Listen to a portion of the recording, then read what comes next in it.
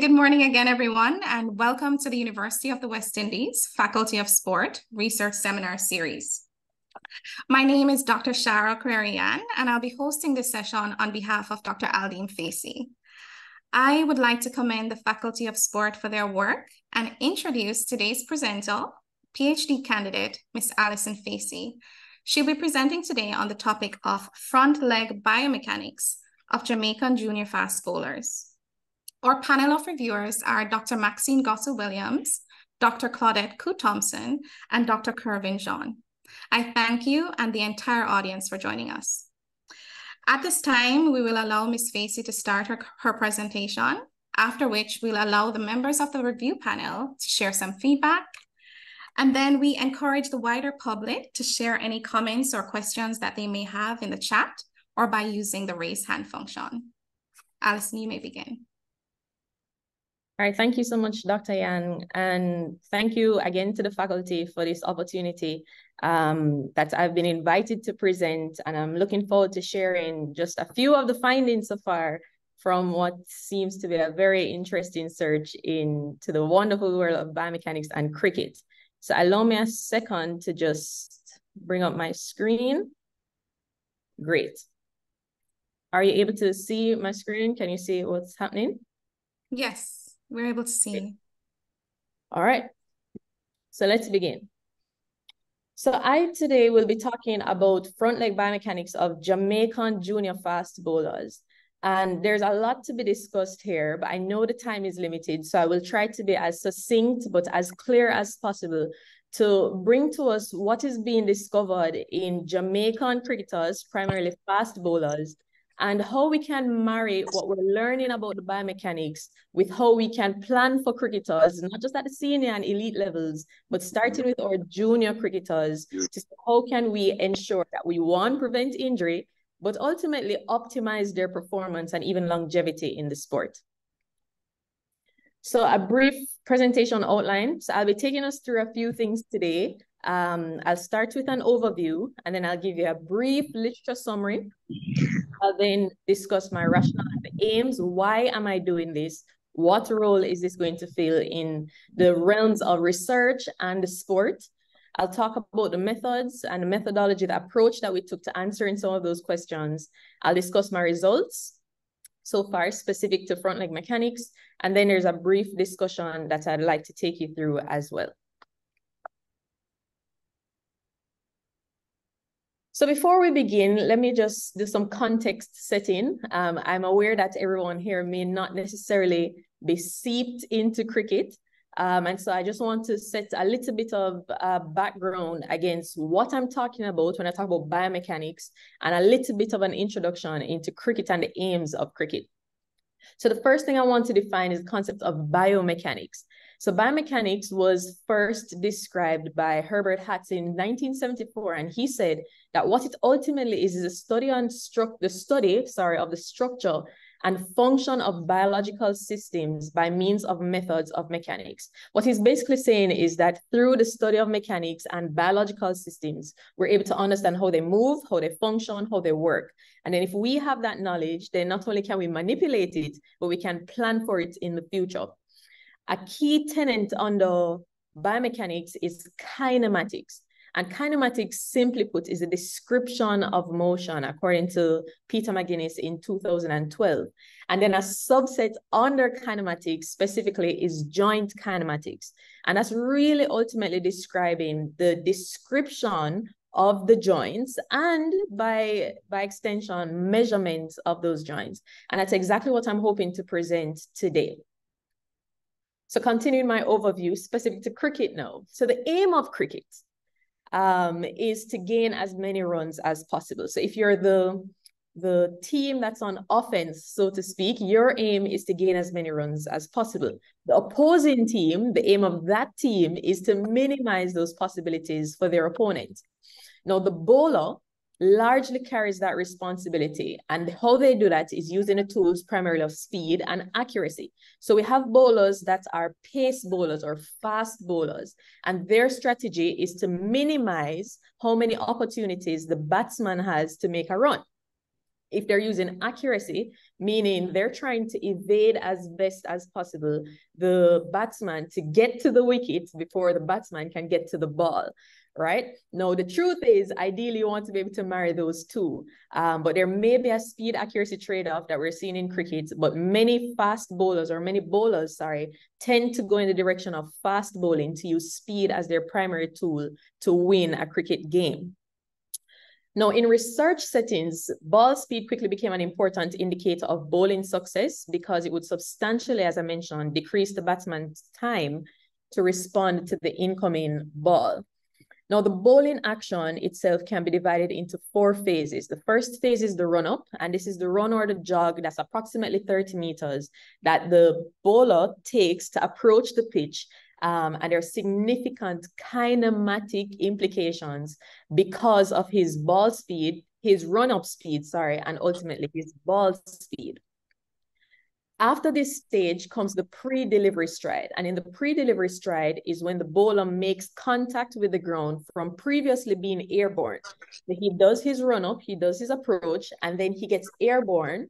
And then once he makes contact, it takes us into the next stage, which is the delivery stage or the delivery stride. So again, run up, pre-delivery stride, delivery stride, and then ultimately to their follow through. So they run up, and the run up is important. And I'll talk about that a little bit later. The run up into my pre-delivery stride where all the forces I've generated in the run up, I'm now going to transfer them ultimately to the hand. But first I'm going to be airborne, then I will land on what is known as the back foot, and then from the back foot, transfer those forces to the front foot. And then from the front foot ground all the way up to my hand where the ball is for delivery. And then at the end of delivery, there is a follow through. So I'm hoping we're seeing the sequence because I'm trying to build a story for you this morning. So now let me take you briefly into the literature and a quick summary of what the literature is saying about bowling, bowling speed, and of course, front knee kinematics. So fast bowling is defined as speeds higher than 88 miles per hour, while medium fast or fast medium bowling, they use those two terms, are considered to generate speeds between 75 and 88 miles per hour. Now, there's speeds that are significantly higher than that, right? But once you've gotten to that threshold of 88, then we'll consider it according to Crick Vision 2020, 2012 they'll consider it as fast bowling. Fast bowling, as I mentioned before as well, has become the interest of many researchers, primarily because of the many biomechanical changes that the body of the bowler must endure to be successful. Now, this is interesting because many sports um, are upper limb heavy, many sports may be lower limb heavy, but what we're seeing in cricket, primarily with cricket bowling, is that it's a biomechanical haven because both the upper and the lower limb are actively involved in performing a successful bowl. In some cases, there may be um, upper limb heavy task where the lower limb is there for support, maybe even propulsion, but really an innocent bystander to the performance. We don't see that situation in cricket. What we see happening with bowlers is that both the upper limb and the lower limb have to be actively involved in order for us to consider it a successful bowl with speed or accuracy outcomes. A next point here that was made popular by King Worthington um, in 2015, King and Worthington in 2015, is that the work of the upper limb is viewed as an extension of what the lower body generates. What they're saying is that when in that run up stage, the reason I'm running up is so that I can generate enough velocity that I ultimately would like to transfer to the ball to pace it toward the batsman in just one year later, Middleton, Alderson, Elliott, and Mills reiterated that by saying that the run-up generates the kinetic drive to complete the bowling action. Kinetics specific to how forces are generated. So they're saying that the run-up is what ultimately makes the ball go fast. Continuing with the review. So a straight front knee on ball release during the bowling action can guarantee not only good ball release height, but secure a closed kinetic chain delivering high velocities generated through the run up to the cricket ball. Again, imagine if you will, a bowler is coming down 30 meters toward the pitch. As he's running or jogging, depending, most pace bowlers run. They're running, he's generating velocity in his body.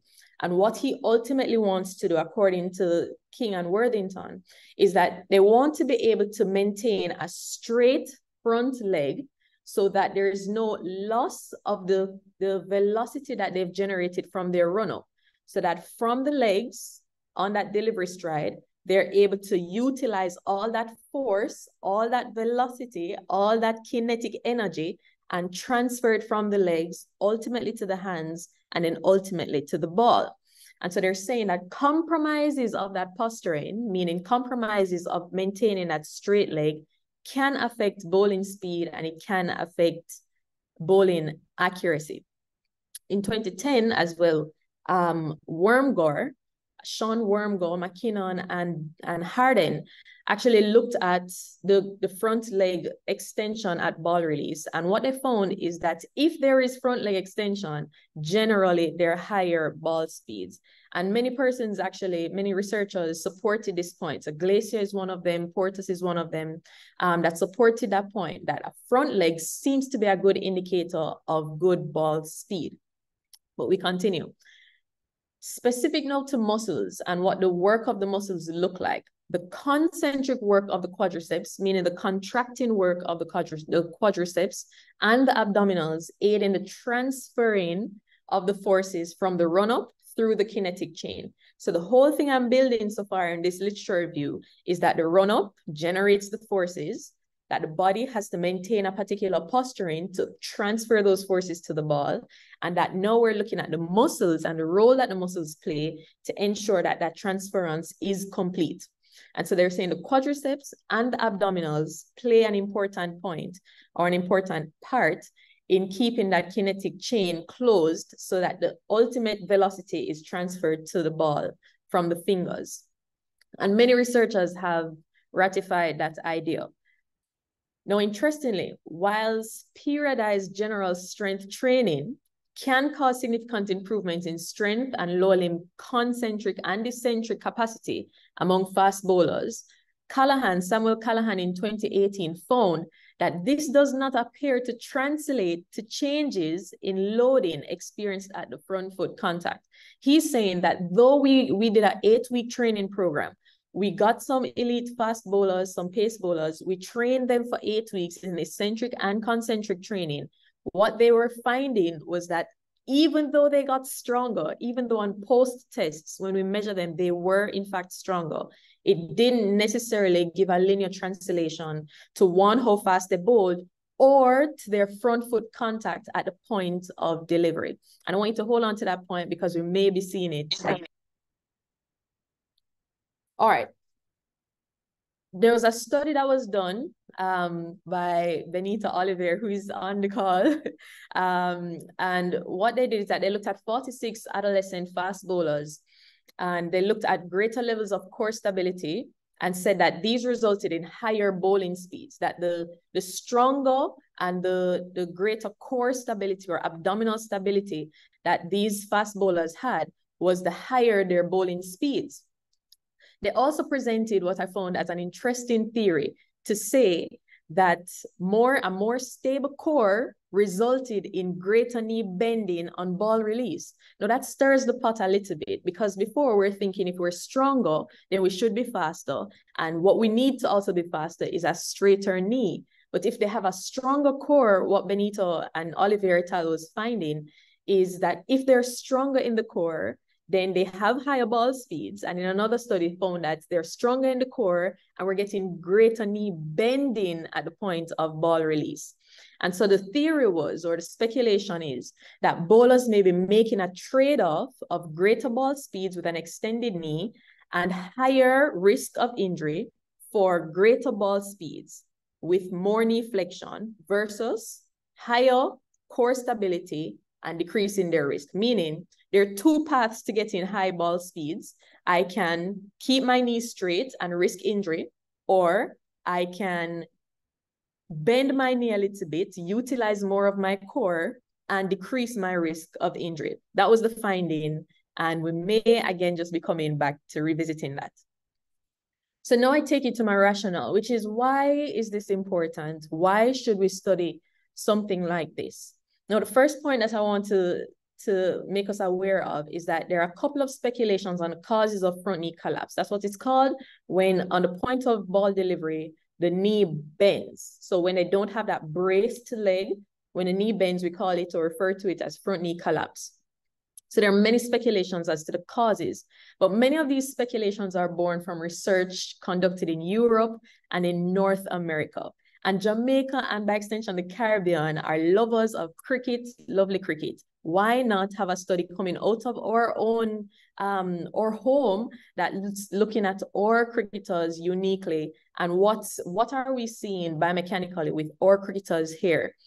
And so while strength and training related challenges can pervade international borders, meaning we can watch what's happening in North America, we can watch what's happening in Europe and make speculations and adjustments for our cricketers here, the very occurrence of front knee collapse is not even documented anywhere in the Caribbean. So all our lovers of West Indies cricket, we have no idea of what West Indian bowlers are doing. We have no idea what Jamaican bowlers are doing. And this study is hoping to fill that gap. Among West Indian cricket bowlers as well, specifically Jamaican bowlers, research is yet to effectively quantify and report these cases of collapsing front knees during bowling. But I continue. So this study can serve to open the discourse to include Jamaican fast bowlers in inferences made to upskill cricket players internationally. In cricket realms and research realms, there's a lot of conversation around how do we, how do we um, we plan for cricket. How do we plan for cricket bowlers? How do we train them? How do we prevent injury? How do we optimize their bowling? How do we ensure that we're not um, overworking or, you know, are effectively introducing load management? We need to get some Jamaicans and by extension, some Caribbean cricket bowlers into that conversation that's happening internationally. From the start line of researching incidences of front knee collapse, which is where we are today in Jamaican fast bowlers, the flame of the study will spread along its natural course to injury mitigation and ultimately prevention. And direct and indirect potential benefits to come from this study are the further implications to training protocols that may need to be adapted or devised to maintain or prevent these occurrences as per the findings of the study that is why we're doing this and that is why as, as, a brief excerpt from my entire rationale those are mainly the points that we want to explore what is happening in our fast bowlers. So what are my aims? What am i ultimately trying to achieve? So the overall aim is that we want to investigate the prevalence of front knee collapse and its possible associations with muscle strength bowling speed, to a lesser extent accuracy for this round in Jamaican junior fast bowlers. Specific objectives is that we want to determine the prevalence of front knee collapse among junior fast bowlers. And you'll see the emphasis on junior fast bowlers. It's not that there's um, it's not that there's a lack of willingness to work with senior bowlers. Where I'm planning to go there as well. But the thinking is if we can start early, if we can detect some of these things early, we may be able to address them early and prevent a lot of delays and heartache in the sport. Secondly, we want to examine association between front knee angles or front knee kinematics and muscle strength of the abdominals and the quadricep muscle groups in these same populations. Thirdly, we want to investigate the association between front knee angle and bowling speed among junior fast bowlers. How do we do this? What's the best way to approach this? So this study took the design of a quantitative cross-sectional analysis of relationships. So it's a descriptive, it has a descriptive component where I'm just observing, is this present or not? But also, if it is present, what relationship does it share with their muscle strength? What relationship does the presence of their front knee kinematics share with their bowling speed? Secondly, I wanted to have what was the sampling method, right? So we wanted to have a convenient sample, and we did this by reaching out to the Jamaica Cricket Association and some key players who can mobilize junior cricketers from all over the island. Reached out to them, pitched the study, and invited those athletes to come. We actually reached out to about 35 fast bowlers in all.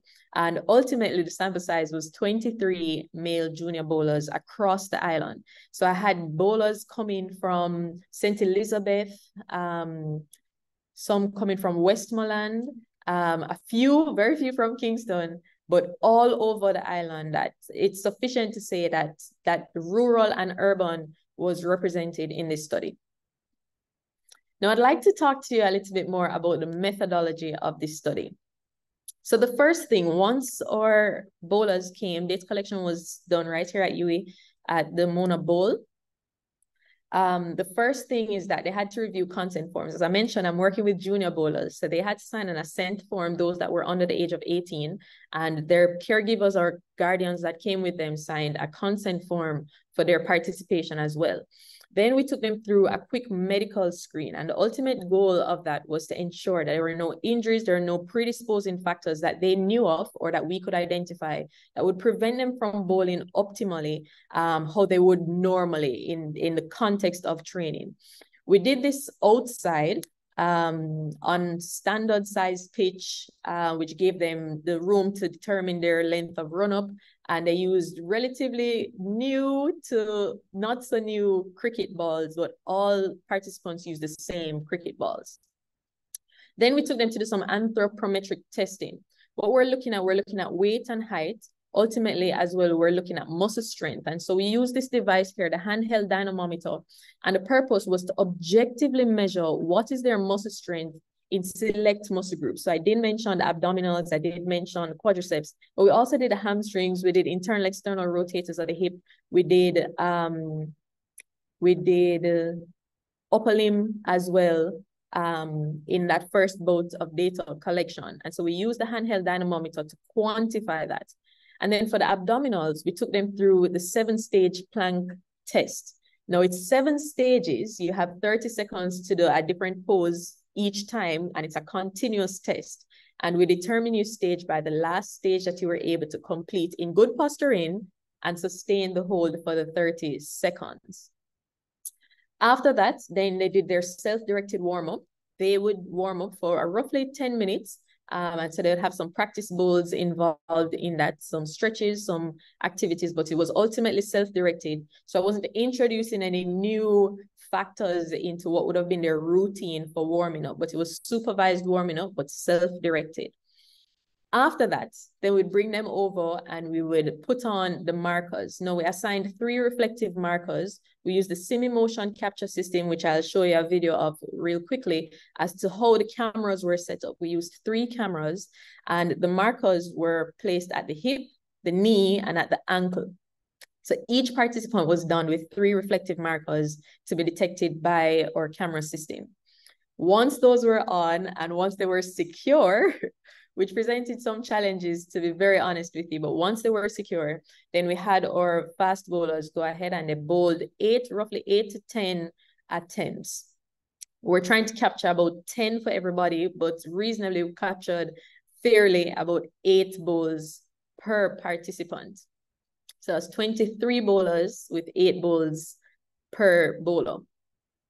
Once that was done, then we would remove the markers and we had a quick debrief to find out, well, did your bowl feel how you would bowl normally? And two, did you sustain any injuries? Did you feel like there was anything that prevented you from bowling optimally or comparably with how you would bowl in the context of a game or a competition? So I want to pause here because I want to just briefly show you what the setup, a bit of what the setup looks like. You really only see the cameras in this, but I want you to be able to appreciate what that looked like. So there are three cameras. There are two on this side that are closer to you, and there's one on the third, or the third one, sorry, is on the opposite side. And so we're right mostly at the crease, right where they would come to be able to capture at the point of ball release, what was the knee doing? Ah, Lego. Right. All right. So continuing with the methodology. So the knee angles using the video and the motion capture system, the knee angles were calculated after the day. So after data collection, we went back, looked at the, the videos and used the motion capture system to determine what those knee angles were per participant per attempt. So we didn't just choose their best, we used every attempt that we could salvage and we captured knee angles for every participant. Then the data analysis was done using SPSS version 20 for Pearson's bivariate correlation because I'm trying to look at knee angles against speed. I'm looking at knee angles against strength um, for the quadriceps and the abdominals. Now, I'd like to show you two videos here. I have two videos here from that boat of data collection and they go pretty quickly, but I'll play them first and then I'll slow them down and ask you if you'd be able to determine based on what we've spoken about so far, if you can detect that knee bend or not.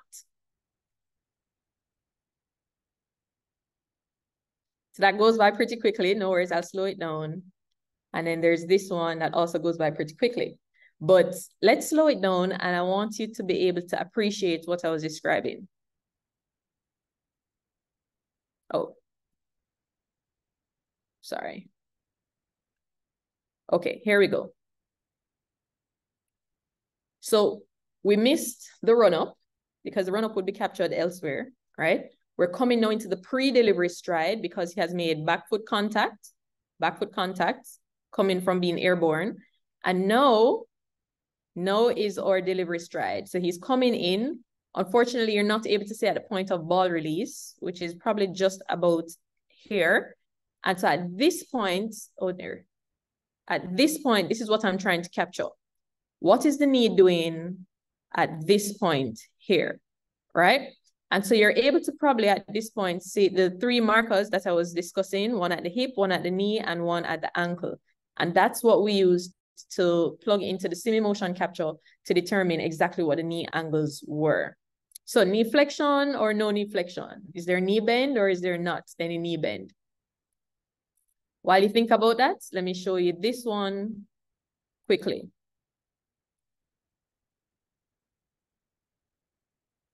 Now you may look at this with a naked eye and think, well, this guy, his knee is significantly straighter. However, that's why we need the Simi motion capture because at the point of delivery, was it as straight as it seems it was? And this, if this was his point of ball release, then we are not as straight as we thought. But nevertheless, we don't add our own thinking to the findings. We report exactly what we find, and that's exactly what I want to go into next. I'll show you the results. So here are the results. What did we find?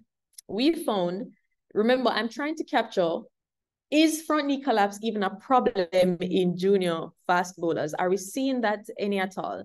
The answer is 100% of the population that we brought in of our junior fast bowlers were in fact collapsing their front knee at the point of ball delivery. Second question that I wanted to answer was, well, if they are collapsing, what are the degree angles? What are the angles that we're seeing? The average knee angles across bowlers that were collapsing was about 43 degrees. So they're collapsing to about 43 degrees on average. Um, some were less and some were more, but on average, we're seeing about 43 degrees of collapsing or knee flexion at the point of ball release. And then I did the seven stage plank um, abdominal assessment with these cricketers, junior cricketers albeit, but seven stage plank assessment. And what did we find? that the average plank staging out of seven was about 2.6. So there were some people who received five. I think there was one that went to six, but we had a lot of ones, we had a lot of twos. And so the average that we ultimately came away with was 2.6 with the plank staging. Now, before you come down too heavy on these guys or too hard, remember these are junior bowlers, 16, 15, 14, 17. So, you know, let's keep it in perspective. But here are more of the results. So I wanted to look at knee angle versus speed. What did we find? That the greater the knee bend, the higher the bowling speeds. Now, descriptively, the greater the knee bend, those that had more knee flexion actually had higher bowling speeds, which which was in, an interesting finding. Let me leave it there for now. It was an interesting finding. And the average bowling speed that we saw was about 67.6 miles per hour. And I, that's the average, but many of them actually were in that fast medium range. We had up to 79.9, 79.7, 78, 78.6. Um, and we had some, some pretty low ones. Um, and on the post or on the briefing at the end of it, they would say, boy, you know, I didn't have my shoes or I didn't feel like I bowled properly or, you know, there was something that held them back. But on average, that was the range that we're seeing. And this speed was actually captured using the Stalker 2 radar gun. Then we looked at knee angle versus quadriceps strength. What were we seeing there? So when we ran this in SPSS, we didn't find any statistical significance unfortunately, between the quadriceps strength and the knee angle. So it was concentric strength that we captured. Remember the contracting strength of the quadriceps using the dynamometer. But when we ran that in SPSS, we weren't seeing any relationship for me to report as statistically significant between quadriceps strength and knee angle. And then looking at knee angle and core strength, what was that like? Again, no statistical significance. However, the relationship was interesting. We found that the higher the core strength was the greater the knee angle. And that sounds familiar if you're paying attention earlier. That the higher the core strength, the greater the knee angle. So how do we make sense of that? So here we come to the discussion. These are the findings. So what support is there in the literature for anything like this? Remember, I spoke to you about a study done by Olivier et al. in 2015 and again in 2022. And these two papers give perspective to the finding of the knee angle versus speed, the, the finding of the knee angle versus speed of greater knee flexion causing higher ball speeds. Remember, previously we were saying that for higher ball speeds, you really need an extended knee but we were seeing, similar to what the findings were in South Africa, is that with greater knee bending, some of our athletes were in fact getting higher ball speeds. Remember context though, it was statistically significant. So I'm just reporting descriptively in this case. Another is that bowlers may be using other mechanisms to increase ball release speed than just a braced front knee. And I mentioned that earlier right, coming out of the study that they, they may be employing other other avenues. Now, the truth is, in 2012 or 2011, I believe, um, Hanley came up with a theory that there are about 74 indicators of ball speed. 74. And from that 74, he identified about five of them that could have been um, indicators of ball speed. But if there's 74, then it gives perspective as to why a single one may not necessarily be giving you statistical significance every time for bowling speed. Then the possibility exists that these junior bowlers could be accepting the trade-off of more abdominal recruitment, thus more knee flexion on ball release, resulting in comparable high speeds. So instead of trying to get high speeds or high ball speeds by keeping the front knee straight, that what they're in fact probably trying to do is to get the same outcome that preserves them from injury by recruiting more of the abdominals. Could it be? This finding, however, does not explain why there was no significance seen between the quadriceps strength and the knee angle. But for that, better support may come from a study done in 2021, where an eight-week strength program done by Samuel Callaghan, as I mentioned, um, was developed and administered for lower body strength, power, and eccentric muscle capacity. And when on post-assessment, what they found is that even though muscle strength had increased, as I mentioned earlier, it had no significant weighting on their front leg um, contact kinetics no significant weighting on what the front leg was doing at the point of ball release.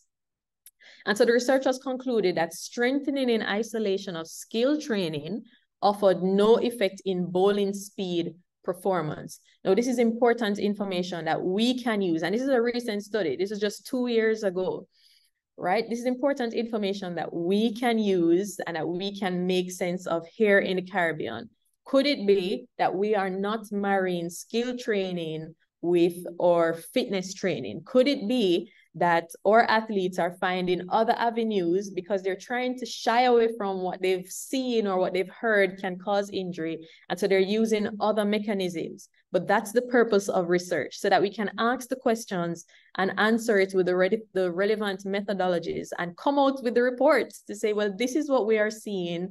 How do we address that? And if there's a problem, how do we fix it? And if there's information that's useful, how do we use it? And so that's essentially what I was seeing coming out of junior fast bowlers and their front knee mechanics at a point of ball release in bowling. Now, before I wrap, I just wanted to share a few of the limitations and tell you how we've been addressing those on the second boat of data collection.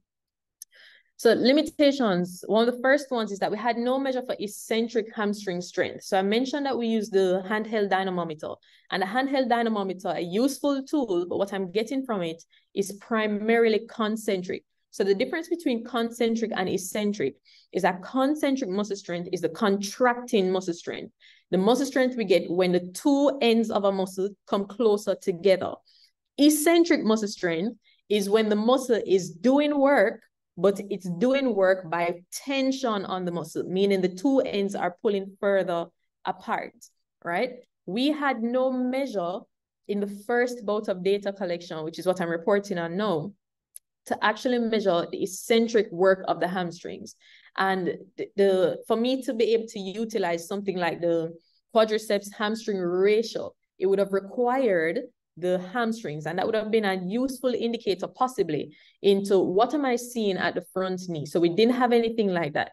What we've done for the second bout of data collection is added the Nordic drop in the presence of the Simi motion capture system to identify at what particular and specific points are these athletes actually breaking, which gives an indication of what the hamstrings eccentrically are able to manage. So I look forward to using that data and reporting on it maybe in the future, in the near future. Second limitation is that there was no assessment of core recruitment or indications of force output.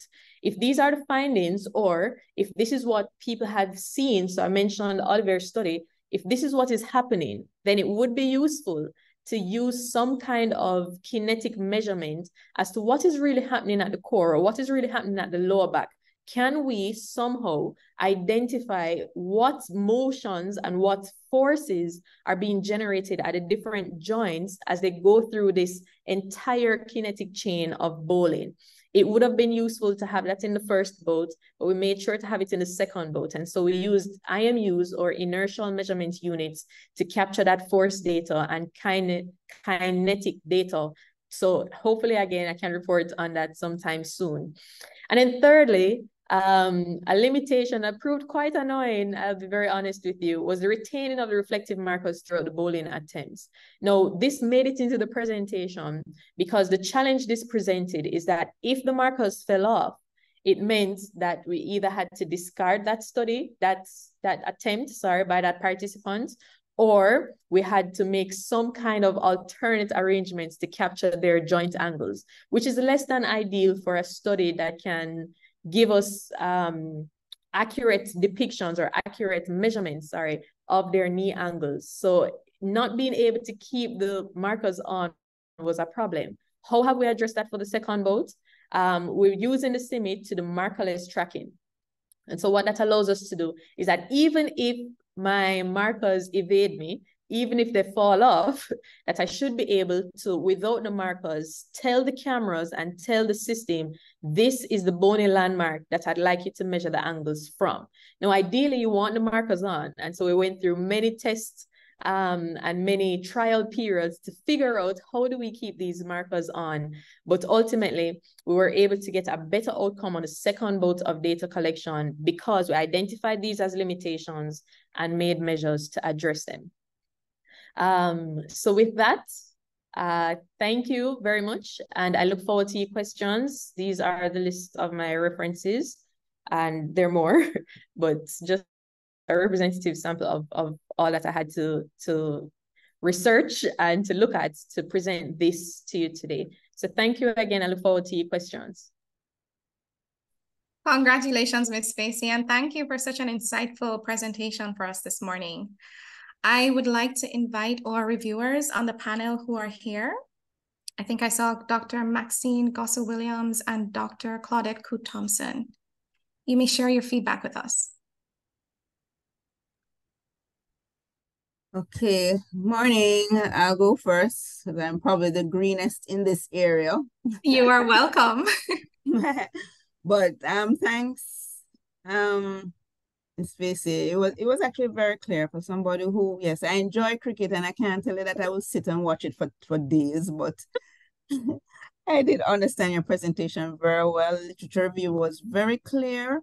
Um, and uh, you know, it really did lead me very well into the introduction as a little thrown by the fact that the figures that you had given in the literature review were in miles per hour, and I can't believe it's just miles per hour data we have seen that, that most of our uh, Caribbean countries, I think, are using metric. So um, you didn't have anything at all from any country, any other country other than, I'm assuming that was US data.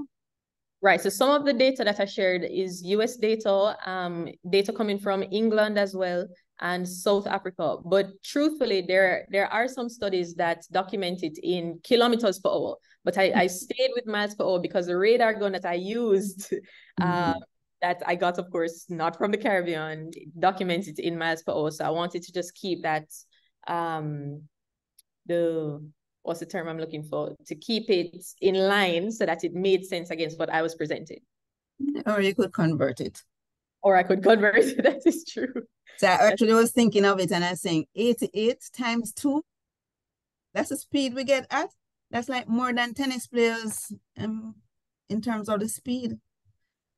Yeah. So my question now, I, I totally understand the concept and the, the knee and the abdominal and you know the, the whole thing of the speed but I was just wondering, and I think I did hear you mention it a little bit in discussion, the back strength doesn't play a role in all of this. And, and if so, why have you not focused on including that?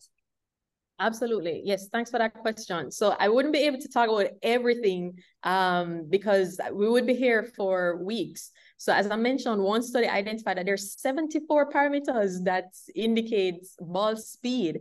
Um, and along that as well is the hip separation, hip shoulder separation angle, pelvis rotation, lower back strength, back foot contact, um, lower limb strength, um, pelvis rotation. Um, there, there are many factors actually that contribute to, to that. And particularly if the direction that I wanted to focus on was largely into injury prevention, then I would do, I would talk a lot more about the lower limb strength and back strength because that's a lot of a lot of the studies that I saw that mentioned the back were in the direction of well let's look at back strength so that we can report on the kind of injuries that we're seeing and in fact lower back injuries really are the, the maybe the primary injuries that we see with cricket fast bowlers so yes it is it is significantly uh, a contributor to ball speed um, but not so much right now we're seeing in the literature for front knee collapse. So we're not seeing any research definitively speaking to back strength, lower back strength, and front knee collapse. But in my second bout of data collection, I did include IMUs to be able to generate force data that could give an indication of just how hard these muscles are working. And hopefully I can have that to report for you the second time around.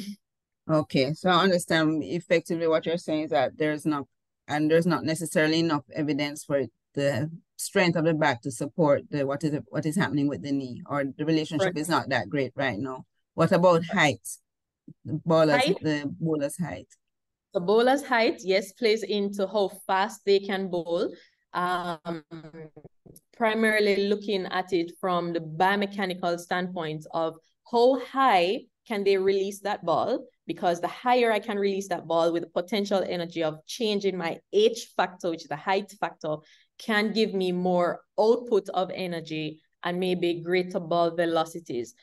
So the height does play a part for sure. Um, I did not include that here. I will include it in the second, the second against ball speed and run it maybe against the front knee collapse and see the relationship that we're assessing there. Um, but I haven't seen again much person zoning into these single parameters across across these first world countries anymore. So a lot of the studies that I'll see mm-hmm. that single parameters were early on, maybe earlier than 10 years ago. What they're actually trying to do now is look at subject-based or individual-based um, biomechanics. So if I take one single bowler, I'm looking at your height, I'm looking at your strength, I'm looking at your um, force data, I'm looking at your kinematics and trying to make sense of as an individual, how does that mm-hmm. impact speed? So they're looking at individual based and group based assessments for predictors of speed, predictors of injury, predictors of kinematics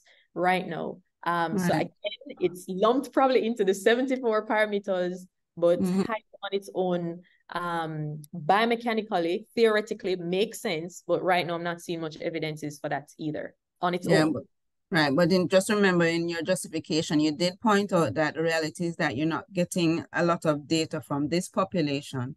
And you may find something novel if you at least have the fact is that if you're measuring them you can at least do some correlation just to see. Absolutely. Absolutely. So, that's exactly it, the plan. Yeah. Um years to come that i can run correlations with all the data i've collected. Okay i was curious about the if you could just go back to the slide where you had the those charts with the, the values the three values that you calculated sure and I was just wondering why at this point I'm only seeing the means. Why not also give us the the variation, whether it's in confidence interval, standard deviation, so we can see the spread? Uh, why would you not want to enrich your data like that? Well, I could, but I was I was trying to um I was trying to advertise this presentation mostly as a descriptive study so even though I did run some SPSS um, tests looking at the Pearson's bivariate, um, I, no, I it's not. The, it's not the test I want to see. It's the variation. I mean, if you remember the other day, our posters were pointing out that the, the, in terms of our PNP versus JLP, who is leading, and these data just presented as the mean and not presenting standard deviation, giving us a false sense of who oh. is actually the favored party. So okay. at this point, you have a population of 23 athletes. Right. So what I'm suggesting is that don't just give us the mean, enrich the data by giving us the standard deviation.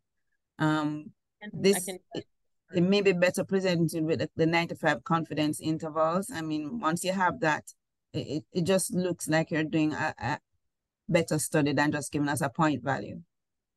Understood. Noted. Thank you so much for that.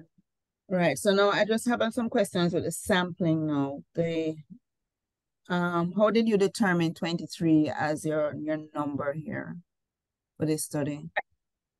Right. So we just invited all all junior bowlers. So we have um there are a few cricket clubs across Jamaica. And what we wanted to do ideally was to get all the fast bowlers. So if a cricket club has about 15 athletes, what what the research was telling me when I asked around across JCA is that each club may have three to four fast bowlers.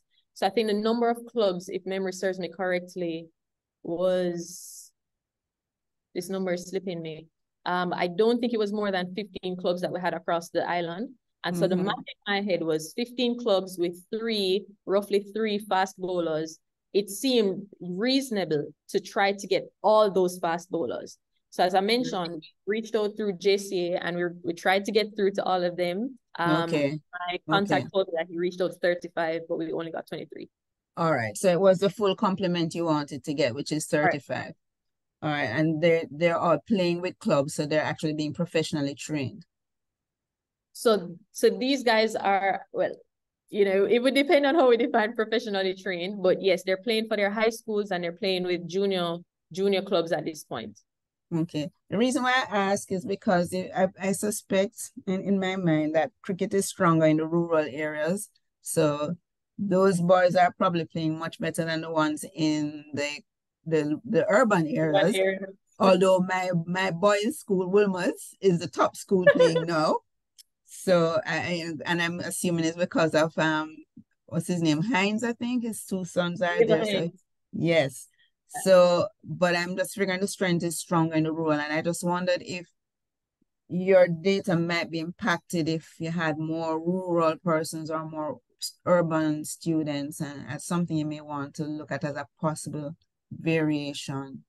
But you did you did indicate that they're with clubs, so I'm assuming that there's some measure of professionalism across the clubs, if, if that is if, if that is the case. It's it's likely, but that's that's important to look at as well. That urban versus rural breakdown for sure. So I enjoyed it. Thank you so much. Um, it, I will confess it's not the first time I'm being exposed to this, um, Dr. Rupshan Martin. So I, we're all impressed with the with her work so far and looking forward to to greater things. And I, I do recognize the enthusiasm because it's only somebody who's enthusiastic could actually put in their justification um, the flame of the study, because there's nothing scientific about that, but I'm assuming that you want to bring in some artist, some poetic um, content. All right. Thank you so All much. Mm-hmm. Thank you. Thank you very much, Dr. Maxine Gossell Williams. Um, I'd like to open the floor to anyone else who has any comments or questions for Ms. Facey. Registered as a liability. Dr. Martin, would you like to say anything to Allison regarding her presentation or um, Dr. Harvey or Dr. Benita? Um, I must say, I'm it seeing, away to you. yeah, things are getting really dark here. Um, I must say, um, seeing um, Alison grow from the time, I mean, uh, we met each other just before COVID, and then COVID happened, and I mean, uh, looking at this presentation, my heart is pounding of just pride, and I think um, your institution is really developing um these this PhD students, and you're going to produce brilliant quality. So congratulations to all of you and specifically congratulations to Alison. Brilliantly well done. And the way that this whole session has been run is superb. I'm I'm proud to be involved. Thank you very much, everyone. Thank you. Thank you so much. Dr. Olivier.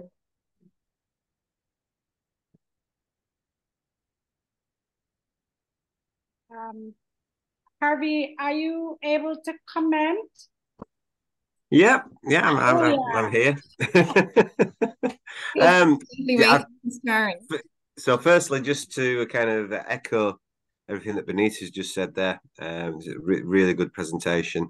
Um, really interesting as well that uh, you're also your findings are echoing those of Benita's previous studies as well, um, which are really important.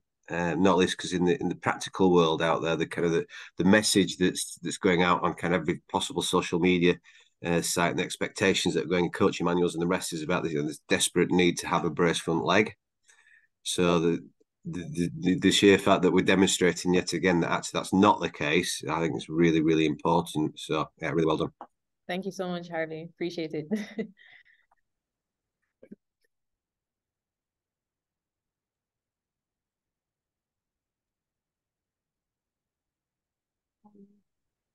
So echoing everybody's uh, sentiments, um, Alison, excellent work. Um, and I think I'm even more excited actually to see what we get out of the next phase. So as Alison said, she's been presenting preliminary data here, but we also have, you know, quite a bit of data that was collected a couple weeks ago that she now has to wade through correcting some of the or addressing some of the issues as she's pointed out. Um, so seeing all of the information put together here really does create a lot of excitement for us for what do we get out of the next phase of it. Um, and uh, Alison, I'm not sure how many of our cricket fraternity was in here, meaning the the athletes, I suspect not many because they would have been in classes at this time. So I think we need to make a special effort to ensure that um, JCA organizes a presentation to share the preliminary, because even though it's preliminary and there are issues that we sought to correct with the other phase, I think it's important to begin to share the data with them now and begin to have the conversation, you know, with the coaches, with the, the athletes themselves. They were all very keen to know what we've gotten out of it Um, I know some of them have gotten their video recordings that they and their coach can sit and analyze.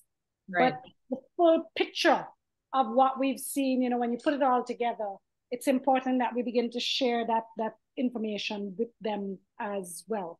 So excellent presentation, and I'm looking forward to the next set of analysis and what we're getting out of it as we, we move forward to create a more comprehensive picture um, for, for you know what's happening here. Thank you so much. Thank you very much, Dr. Martin. So I'm looking in the chat and we have a question for you, Alison. It's asking, what is plank staging?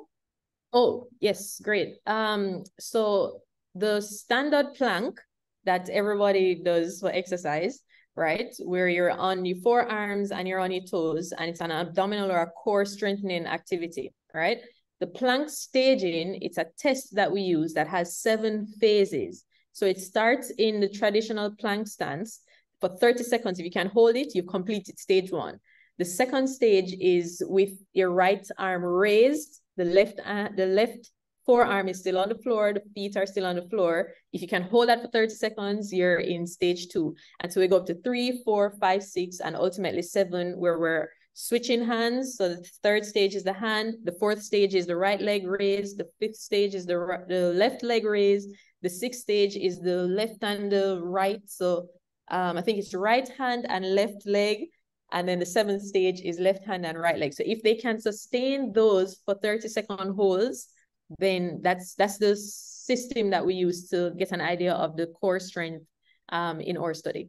So that's the plank staging system, the seven stage plank assessment. Perfect. The person understands clearly. Thank you so much for explaining that. Um, is there anyone else who'd like to ask any questions? I see um, Michelle sent you congratulatory messages. She says, you know, very well done. And Dr. Anderson was saying that most of the research is done in the UK and in Australia. Therefore, the miles per hour is most used. Um, I also want to highlight at this at this point that we had quite a good turnout and support, especially from some of our graduates, um, well wishers and supporters of you, I'm sure, Alison, and also from current students at the Cave Hill, Mona, and St. Augustine campus. Thank you very much for joining us.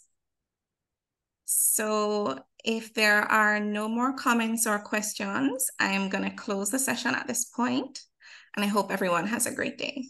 Thank you so much. Thank you.